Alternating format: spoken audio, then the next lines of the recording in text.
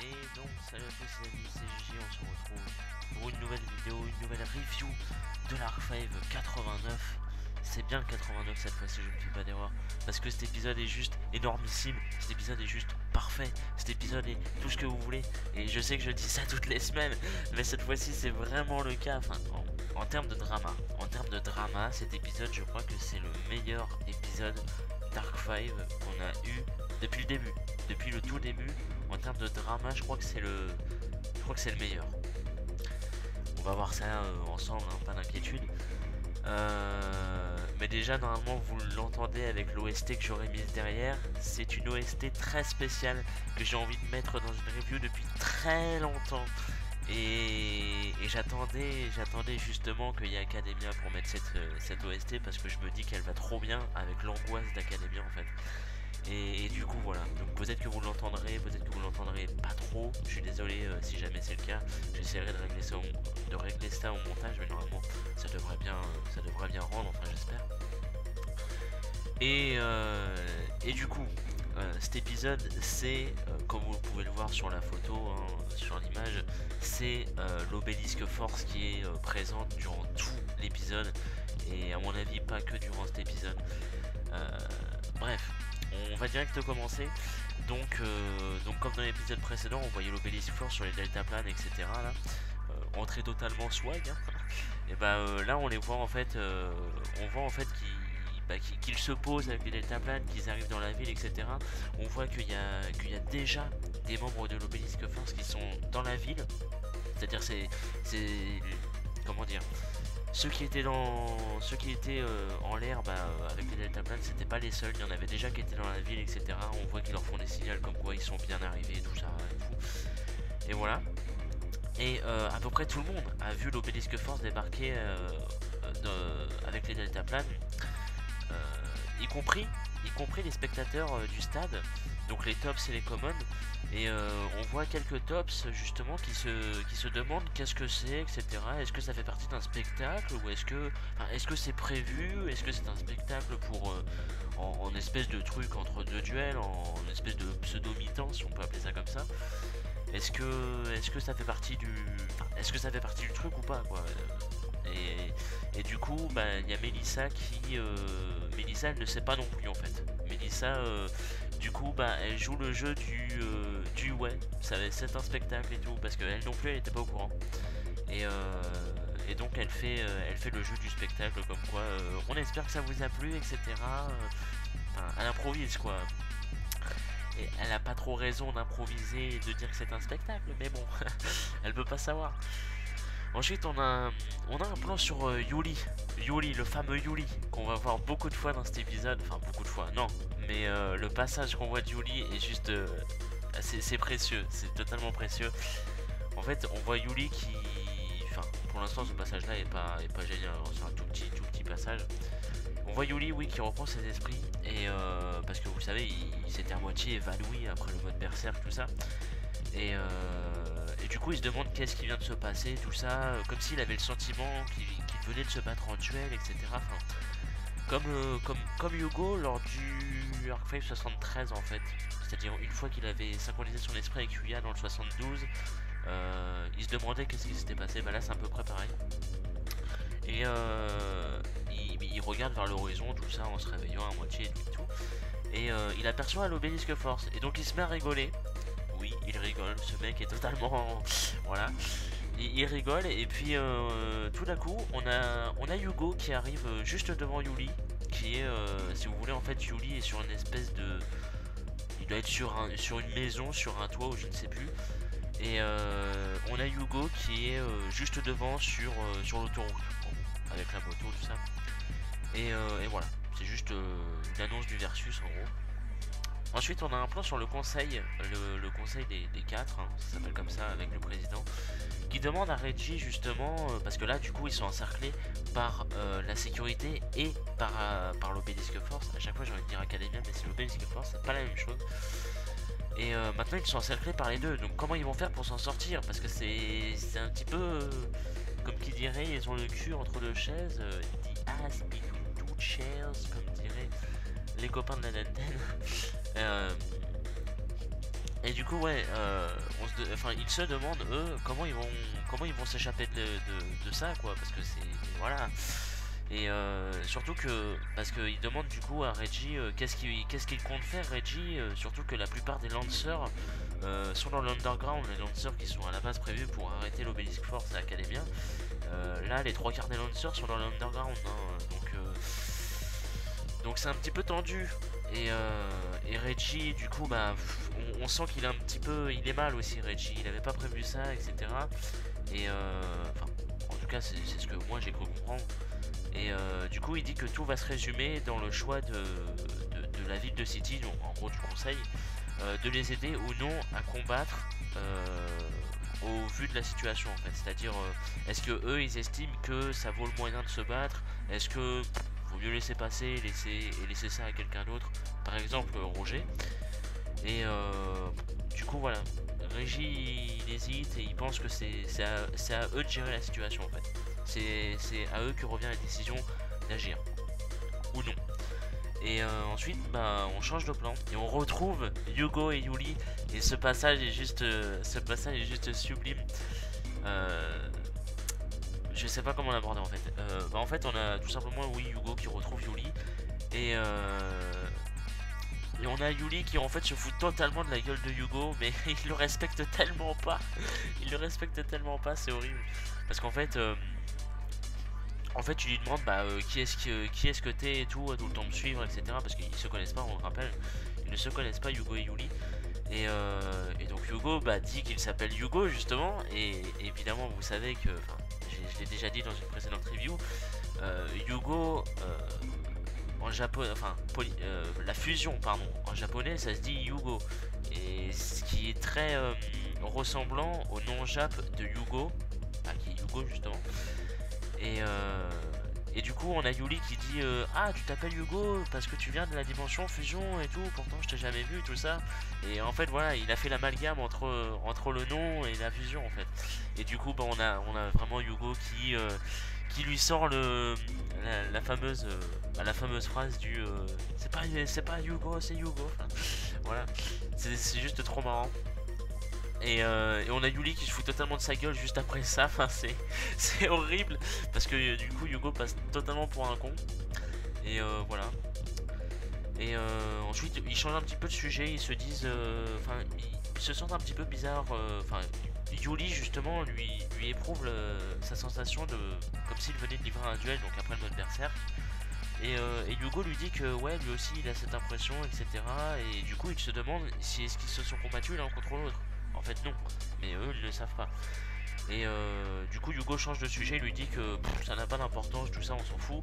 Euh, il veut que Yuli lui dise où se trouve Rin, parce que Yuli avait enlevé Rin. Et, euh, du coup voilà, il, veut savoir, parce que c'est quand même le but de Hugo hein, de retrouver Rin. Et euh, Yuli accepte, étrangement il accepte. En échange, en échange, Hugo doit lui dire où se trouve Yuzu. Parce que euh, Yuli dans l'épisode 30, euh, 37 je crois, un truc comme ça, enfin c'est dans ces eaux-là. Euh, Yuli a vu... Ah bah non il l'a pas vu, bah comment il a fait alors?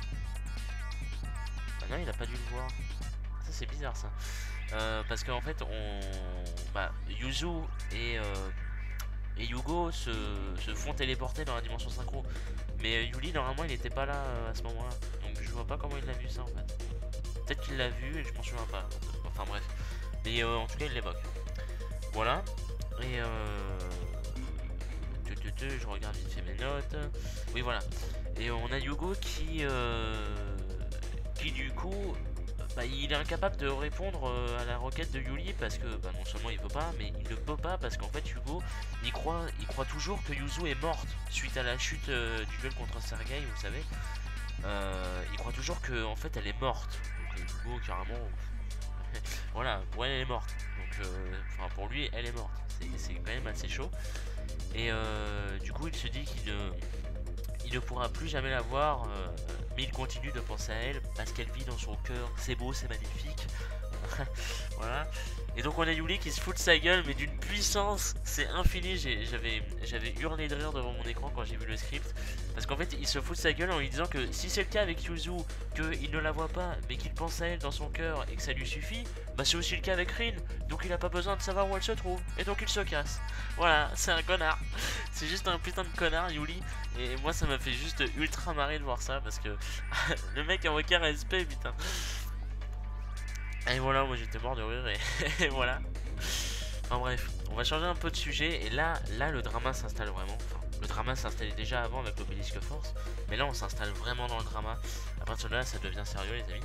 On a l'obélisque force euh, qui, euh, donc oui, se disperse un peu partout dans la ville. Euh, c'est-à-dire on la voit on la voit face au conseil, enfin face à la ville du conseil, on la voit euh, dans les bidonvilles, on la voit dans d'autres parties du bidonville, mais, euh, là où se cache Serena en fait. Et euh, du coup, voilà, oui, ils arrivent devant le bâtiment du conseil où il y a toute la sécurité. Hein. Donc, donc le, le, versus sécurité Obelisk Force est imminent. Et ça, c'est juste hypant as fuck. Parce que c'est ce qu'on voit dans l'opening. Et du coup, voilà. Enfin bref. Et, euh, et du coup, il y a Sergei qui sort des, canons de la sécurité et Sergei va affronter l'obélisque force. Enfin, c'est par trois mecs. Et euh, on a aussi d'autres membres de l'obélisque force qui arrivent euh, du coup devant le bâtiment, je vous disais, où ils cachent, enfin, où il y a Serena, Layla et Tsukikage qui se cachent. Et ils ont réussi à savoir que Serena se trouvait là-dedans. Et on a Layla qui demande à Tsukikage d'aller prévenir les gens de l'underground. Enfin, je dis les gens, mais c'est les Lancers de l'underground pour qu'ils viennent euh, en renfort de la situation, quoi, pour qu'ils viennent les aider. Et, euh, et, du coup, voilà, donc Raina demande à Tsukikage de faire ça, euh, il s'exécute, hein. On a l'obélisque force qui du coup envoie un signal pour indiquer où se trouve Serena parce qu'ils ont trouvé la localisation et ils doivent envoyer un signal pour dire que voilà ils l'ont bien trouvé, que la phase de capture est enclenchée, tout ça. Et euh, et on a un tout tout tout petit plan qui de, de, Sergei en fait trois membres de l'Obelisk Force à lui tout seul et du coup euh, les autres sont impressionnés quoi, ils se disent putain c'est un monstre. Et, euh, et le conseil, on voit le conseil qui applaudit. Ils applaudissent la prestation de Sergei comme quoi bah, ils les ont un petit peu sauvés hein, quelque part. Et du coup voilà. Je me suis dit pourquoi pas le noter même si c'est pas utile en soi voilà. Euh, ensuite, on a trois membres de l'Obélisque Force qui suivent Tsukikage, qui en fait, bah, il est toujours en mode ninja sur les toits, etc. Il, doit vite aller vers l'underground, etc. Mais il se rend compte qu'il est suivi en fait par trois membres de l'Obélisque Force. Et sur le coup, il se dit qu'il peut pas continuer comme ça parce que sinon ils vont savoir en fait où se trouve l'underground. Et il ne faut absolument pas que ça se fasse. Et euh, du coup, il décide de les affronter en duel, même si, euh, bah voilà, on sait très bien que c'est pas une très bonne idée, mais voilà. Et donc le duel commence et le premier membre de l'Obélisque Force, il invoque le... Enfin, c'est des traductions, hein, c'est des traductions littérales que je fais. Euh, il invoque le chien de chasse mécanique antique. Euh, vous savez, le, le ancien gear euh, underdog, comme ils appellent ça en japonais, avec mon accent absolument parfait, n'est-ce pas? Et du coup, il pose une carte et voilà. Donc le chien de chasse mécanique antique, c'est un petit monstre hein, qui a 1000 points d'attaque, je crois. Enfin voilà, c'est tout, juste une carte face cachée. Et euh, mais pas n'importe quelle carte face cachée. Donc en fait c'est au tour de Tsukikage ensuite euh, qui utilise une carte magique pour invoquer spécialement un monstre de niveau 4 qui se nomme Shingetsu, enfin c'est des ninjas hein, on connaît. Puis il le sacrifie pour invoquer Getsuga. Euh, il décide d'attaquer direct, il hein, n'y a pas d'embrouille. Mais euh, justement le membre de l'Obélisque Force active son piège parce que je sais plus si je l'ai précisé, mais il y a trois membres de l'Obelisk Force contre Tsukikage. Donc c'est un, multi. Euh, c'est-à-dire ils sont trois contre 1 en fait. Voilà. C'est important. C'est important. Et donc il active sa carte piège, le mec de l'Obelisk Force, euh, qui, est une, qui est un piège continu que j'ai renommé la tranchée de la fusion. Et en fait c'est une carte totalement broken parce que ça empêche tous les monstres non fusion d'attaquer. C'est-à-dire il n'y a que les monstres fusion qui peuvent attaquer. C'est absolument pété en fait. Et voilà absolument pété. Et du coup, Tsukikage, bah, il est bloqué, hein, donc il pose deux cartes pour finir son tour. Et c'est le tour du deuxième membre, le deuxième membre qui direct, il active la polymérisation, il invoque le triple chien de chasse, euh, voilà, direct. Et l'invocation est juste badass à souhait. Je... Je... Voilà, c'est... J'avais juste... Excusez excusez-moi. J'avais juste kiffé au moment où j'ai vu l'épisode, j'étais à fond dedans, j'avais limite les larmes tellement j'étais à fond dedans et que, et que je trouvais ça badass. C'est bizarre, hein, ça m'arrive pas souvent, mais voilà. et du coup, on a l'effet de la tranchée de fusion qui s'active. Vu qu'il a invoqué un monstre fusion, il peut attaquer directement. Et ça, c'est pété. Et vu que c'est un monstre mécanique antique, Tsukikage ne peut pas activer de cartes magiques et pièges. Pour ceux qui ne savent pas, mécanique antique c'est roi Janceur. Voilà, les juges comme moi j'ai l'habitude de, dire mécanique antique, merci GX l'animé. Et euh, voilà. Et du coup, bah, Tsukikage, les deux cartes face cachée qu'il a posées, bah, ça lui sert totalement à rien. Donc il se prend l'attaque, euh, il prend 1800 dans sa gueule. Et euh, du coup, c'est au tour du troisième membre de Obélisque Force d'agir. Et il fait exactement la même chose, hein. polymérisation, triple chien de chasse, attaque directe, pas d'ombre. Voilà. Donc du coup, Tsukikage lui reste 400 points de vie. Euh, et du coup, il se disait qu'ils allaient transformer Tsukikage en carte et tout, parce qu'il voulait, pas, euh, voulait pas leur dire où se trouve Yuzu. Et tout d'un coup, on a Sora qui intervient et qui Sora qui, se la joue. Euh, Sora, c'est c'est master level hein, dans, dans, cet épisode, je vous préviens. On a Sora qui, oui, qui intervient dans le duel. Euh, il se prend les 2000 points de pénalité, mais bon, ça, on s'en fout un petit peu. Et il active le sanctuaire des Destoy, qui, euh, en fait, c'est une carte qui, il envoie une carte de sa main et deux cartes de son extra deck au cimetière pour l'activer. Euh, ensuite, enfin, c'est juste une carte comme ça, il l'active en, sacrifiant ses cartes. Et d'après ce que j'ai compris avec des potes qui jouaient les, les, decks Destoy, ce serait une très bonne carte pour les decks. Après voilà, juste petite info comme ça pour si jamais ça vous intéresse. Euh, ensuite il active la Destoy Fusion. En fait il bannit, il bannit les trois monstres qu'il a mis au cimetière là. Euh, il invoque euh, Mad Kimaila, le fameux monstre 2800 avec les trois têtes là et tout, qui est trop stylé. puis ensuite il utilise polymérisation pour fusionner deux monstres de sa main. Il invoque le Destoy, le, tigre là, le tigre, j'ai pas noté le nom mais c'est le tigre. Voilà, il invoque. En fait, euh, l'effet du tigre, c'est quand il est invoqué euh, spécialement, il peut détruire une carte magique au piège sur le terrain. Et euh, du coup, bah, il détruit. il détruit. Ah non, non, je crois que c'est pour chaque matériel. Ou pour chaque Destoy sur le terrain, je ne sais plus. du coup, il détruit. il détruit une carte. Bah, il détruit la tranchée de, la fusion, justement, et tous les monstres Destoy gagnent 300 points d'attaque pour chaque Destoy sur le terrain. Euh, donc du coup l'attaque elle monte, elle monte. c'est pas important de calculer parce qu'il va faire un OTK, hein, je vous spoil. Et donc on a Tsukikage qui active un, piège durant, le tour de Sora. Mais, euh, mais c'est pour l'aider, c'est un piège en fait qui permet de copier l'effet du triple chien mécanique. C'est-à-dire en fait le triple chien mécanique il peut attaquer trois fois durant chaque battle phase. Ça c'est une chose qu'il faut savoir. Euh, alors après pourquoi ils n'ont pas attaqué trois fois Tsukikage Peut-être qu'ils n'ont pas le droit d'attaquer trois fois directement, je ne sais pas. En tout cas, il peut attaquer trois fois, apparemment. Et du coup, Matt là euh, peut désormais attaquer trois fois parce qu'en fait, l'effet permet de l'appliquer à un de tes monstres. Donc il le fait pour Matt là. Et, euh, et du coup, elle peut attaquer trois fois. Donc Sora attaque, il détruit un triple chien. ce qui active l'effet de Matt là qui en fait... vu que le triple chien a été détruit par, par ce monstre, et eh ben, il est invoqué spécialement sur le terrain de Sora.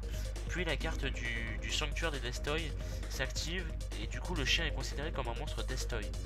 Et ce qui augmente encore plus les points du tigre et, euh, des autres parce que euh, c'est...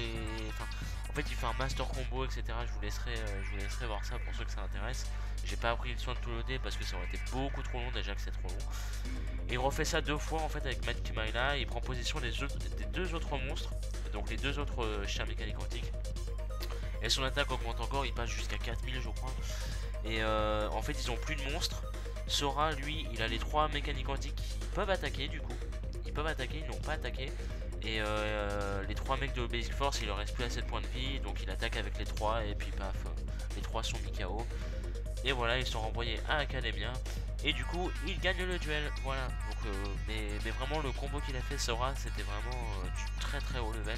Honnêtement, j'étais impressionné. Même si Sora, c'est vrai que Sora nous impressionne de plus en plus niveau duel, carrément. Et du coup, voilà. Et on a Tsukikage qui, à la fin du duel, il explique la situation à Sora et euh, comme quoi il, doit aller vers l'underground, que l'Obelisk Force est déjà au trône de Serena, tout ça. Donc lui il fonce vers l'underground et Sora, euh, lui, il part aider Serena, d'après ce que j'ai compris. et donc là on a un plan sur Layla en fait qui est, qui en train de protéger Serena dans une espèce de, station de métro abandonnée. Enfin c'est très bizarre, il y a une espèce de, rail de, de, train ou je ne sais plus quoi qui, est là, enfin espèce de locomotive ou un wagon, je sais pas, enfin il y a un truc abandonné quoi. Et, euh, et on voit des mecs de l'Obélix Force qui descendent les marches, etc. en mode, en mode trop stylé, etc. pour faire peur. Et on a, euh, et oui, il y a Layla qui commence à se sentir très mal en fait. Et il y a une espèce de mini flashback qui se met en place. Et, euh, et en fait, Layla, à la place des, des, des mecs de l'Obélix Force, il voit des espèces, enfin, des espèces de silhouettes. Vous verrez l'image. Alors, je tiens à préciser, j'ai fait le screen avant l'épisode. L'image est de mauvaise qualité. Si jamais vous regardez les images pendant la review, l'image est de mauvaise qualité. C'est fait exprès. C'est l'image euh, de l'épisode. C'est fait exprès. Il y a un effet de flou et tout. C'est fait exprès. Juste au cas où. Petite précision. Et euh, et du coup, on a ouais, Leila. Euh, en fait, il voit ces étranges silhouettes. Et en fait, c'est ses souvenirs et il les voit à la place de Force et du coup ça le paralyse. Ça le paralyse, il est tétanisé, on, comprend pas pourquoi. Et euh, du coup, est-ce que ça fait que l'histoire de, de Layla va un petit peu avancer? Ça serait bien. Enfin, c'est vrai qu'on se demande quand même. Et euh, du coup, il est paralysé, il sait pas quoi faire et tout, tandis que eux, ils se rapprochent, etc. on a Yuya qui arrive de on ne sait où, mais vraiment on ne sait où, dans une espèce de conduit, euh, pas, d'un conduit d'aération, mais d'un espèce de, j'ai oublié le nom, mais vous verrez quand vous regarderez l'épisode.